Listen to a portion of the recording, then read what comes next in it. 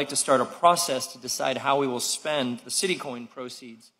Um, and so I believe direction to the manager may be in order at this point. Yes. My, my recommendation is that we, you know, this is going to be money generated from basically the tech industry on, on this Bitcoin situation um, and the Miami coin. My recommendation would be going towards affordable housing, especially the proceeds from Miami coin Yeah. will be directed toward affordable housing. There's a motion, there's a second. Is there anyone here from the public who'd like to comment on that?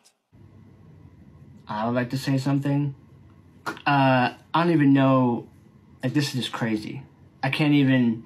The city officials of Miami are super dope. Watching some of the way they interact, these dudes are super forward thinking. Uh, it's not a shock to me that Miami is trying to be the capital of capital and crypto they're okay with because they're just smart dudes, it seems like. Super forward thinking. But yeah, this is nuts.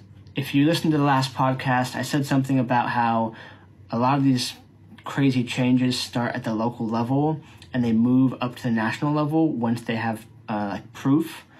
And we saw this with marriage rights, we saw this with uh, legalizing marijuana. And I do think that in the next five to 10 years, you're going to see that what Miami is doing right here, right now, will be a catalyst for crypto going forward, especially at the local level and other cities uh, jumping in ship because they see the benefit of what crypto can do when utilized properly.